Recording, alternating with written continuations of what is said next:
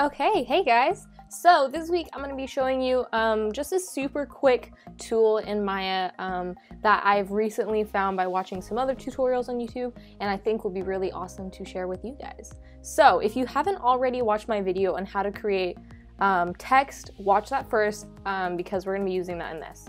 So what you first just want to do is um, create a word or um, really just anything uh, that you want to make into your neon sign. So I'm gonna do my name.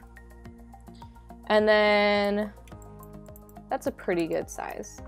Next, what I'm gonna do is you want to um, assign a new material to that. So down here at the bottom is assign new material. And then in this menu, what you want to do is um, just add in a normal AI standard surface. Next, what we're gonna do is um, you wanna drop the emission weight, um, or you wanna make the emission weight really high because that's basically like how much light it's giving off. And then I think I'm gonna make mine, I like blue, so maybe I'll make mine like a blue. I like blue a lot, maybe. Um, so you can see it's gonna, it's gonna be blue and then it'll emit some light as well. So um, that's all controlled in um, your AI standard surface uh, attribute editor um, in attribute editor. Next, what you're going to want to do is turn off the spec color. So that's this guy, turn him off all the way down. And then you can turn off the weight too. And then you can also turn off the diffuse roughness if it's on. Um, mine isn't, so you should be all good. I think you can also turn off the base color. I, we'll see how much it affects it. Um, and then what you want to do is let's go ahead and make a floor. Press R to scale it up. Then you can move it kind of center it a little bit more. And then on this floor, what we're going to do is assign a new material to it. Same thing, AI standard surface. And then what you'll do is you'll turn their spec color all the way um, up. So see how those guys are super high? And then you want to take the, the roughness to like about halfway. Yep, and then um, what we can do is we can duplicate this and then just um, tilt it. So if you do Command D, that duplicates it, and then press E, and then you can tilt it up so that it is a backdrop.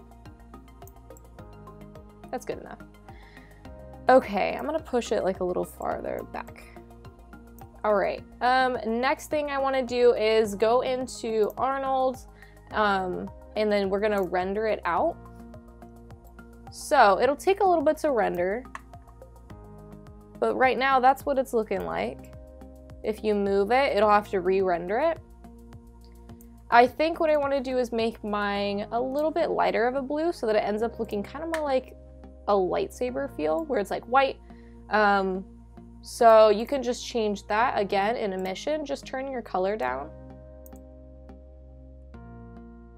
And then what you can also do is um, change your um, um, diffuse roughness if you need to. You don't. You shouldn't have to. That would be more like for something for the backgrounds is change it. Um, what you could also do is I think there's a place to change the um, the like reflectivity of it. Um, this guy right here.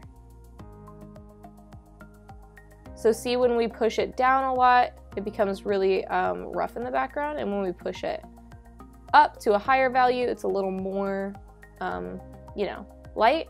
So I'm gonna probably put mine like right there. And then I'm gonna drop the diffuse.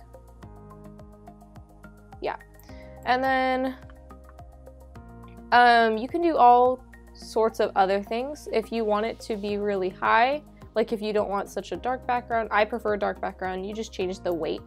Um, you can also drop your emission color to be completely black. And then, you know, it'll take a little while to render out, but that's totally fine. Um, but yeah, that's basically just how to make a super simple neon sign. I think it's super fun. Um, if you want it to emit more light, you just have to um, put your weight really high. So now it's a little bit more of a white light um, instead of, you know, a bluer light. But that is, again, totally up to you.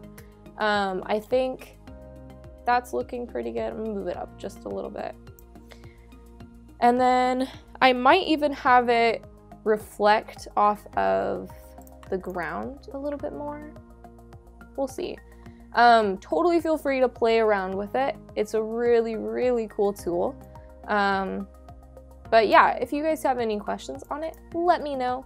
Um, I'm gonna go ahead and let this render out. You let yours render out and um, show me how yours uh, ended up looking in the end. Something that you also wanna do is um, go to your render settings, which should be in Windows, render, uh, rendering editors, and then render settings. And then um, you can set um, the camera. Let's see, I think that's in. Yep. Go to Arnold Renderer and set the camera to 5 and then set your ray depth to 5 as well. So ray depth is down here. Set your total to 5.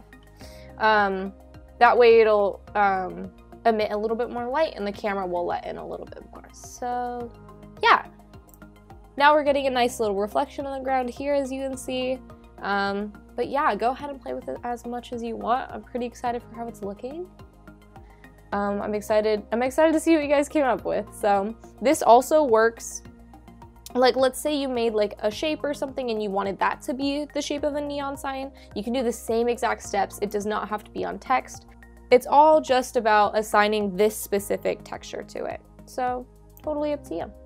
Um, but yeah, thanks for watching. Um, I don't know what we're doing next time, but you'll see a video come out uh, in four-ish days. So stay tuned for that, and I'll see you guys next time.